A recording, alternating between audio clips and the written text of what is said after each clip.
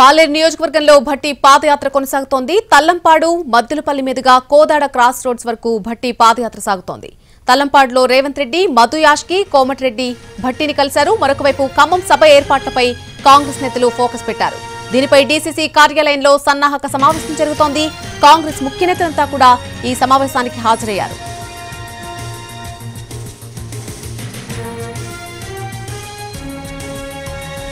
భట్టితో రేవంత్ రెడ్డి భేటీ ముగిసింది. పాలేరు నియోజకవర్గం తల్లంపాడు నుంచి ఖమ్మం బయలుదేరి వెళ్ళారు రేవంత్ రెడ్డి. కాసేపట్లో డీసీసీ కార్యాలయంలో సన్నాహక సమావేశం నిర్వహించబోతున్నారు.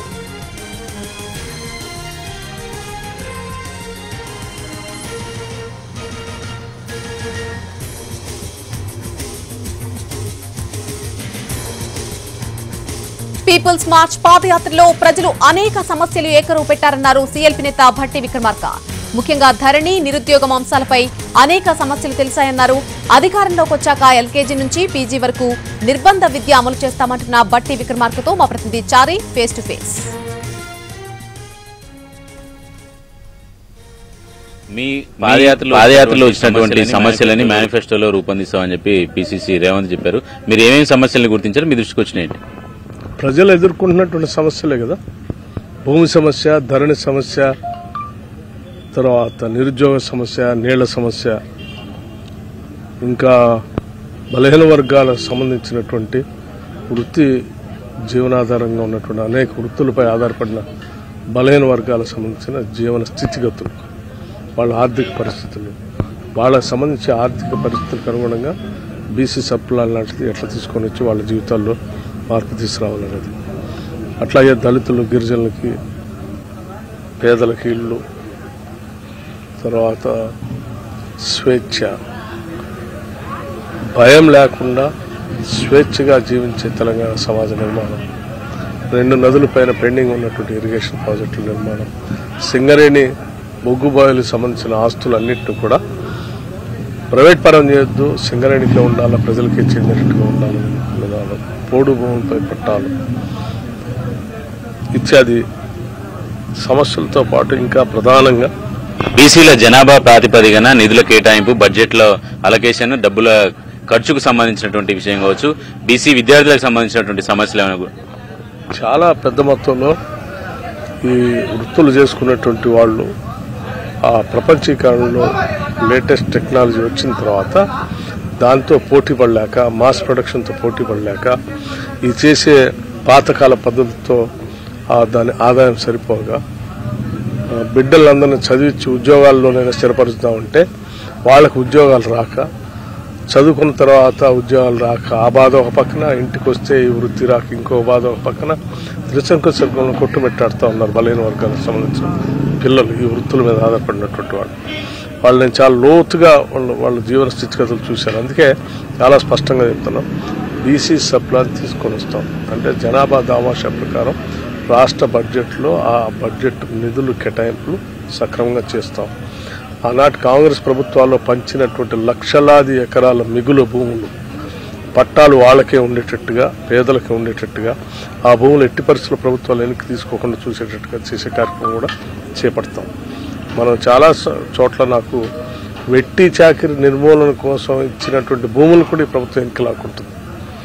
పేదలు తినటానికి తినలేనటువంటి వాళ్ళకి ఇచ్చిన భూములను కూడా లాక్కొని బౌలు చేసే సంస్థలకు ఇస్తూ ఉన్నారు. సో ఇటువంటి సమస్యలు అనేక ఉన్న దృష్టికి వచ్చాయి. తప్పనిసరిగా వాటన్నిటిని సభలో చర్చిస్తాం మాట్లాడతాం. నిరుద్యోగ యువత యువకుల సమస్యలు అయితే మరీ భయంకరం. కొన్ని చోట్ల ఎంఎస్సీ బీఎడ్ చేసుకున్నటువంటి బయోకెమిస్ట్రీ చేసిన వాళ్ళు బీటెక్ చేసిన వాళ్ళు ఎంటెక్ చేసిన వాళ్ళు రోడ్ల మీద పళ్ళు అమ్ముకుంటూ కొద్దిమంది జ్యూస్ సెంటర్స్ పెట్టుకుని కొద్దిమంది సోడా బండి పెట్టుకుని అమ్ముకునేటువంటి కొన్ని రకరకాల ఈ పరిస్థితులు చూసి చాలా బాగా అనిపించింది.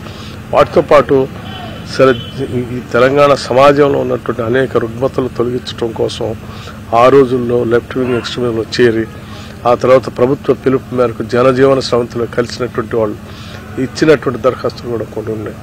జనజీవన శ్రవంతిలో కలవటం కోసం ఆనాటి ప్రభుత్వాలు భూములు ఇస్తే ఆ భూములను కూడా ఈరోజు ప్రభుత్వం ఎన్నికలు లాక్కుని భూములు లేవని చెప్తున్నారు. వాళ్ళు కూడా నాకు ఇచ్చారు రామగుండం కాన్స్టిట్యున్సీలో రిప్రజెంటేషన్ అట్లాగే ఇక్కడ మన సూర్యాపేట కాన్స్టిట్యున్సీలో కూడా వచ్చి ప్రత్యేకంగా రాష్ట్ర వ్యాప్తంగా ఆ సరెండర్ అయినటువంటి వాళ్ళు కొన్ని సమస్యలు అదృష్టి విద్యా వైద్యం. అంటే ఈ రాష్ట్రంలో పుట్టినటువంటి ప్రతి బిడ్డ పేద బిడ్డకి ఇంగ్లీష్ మీడియంలో ఉచిత విద్య అందించాలి.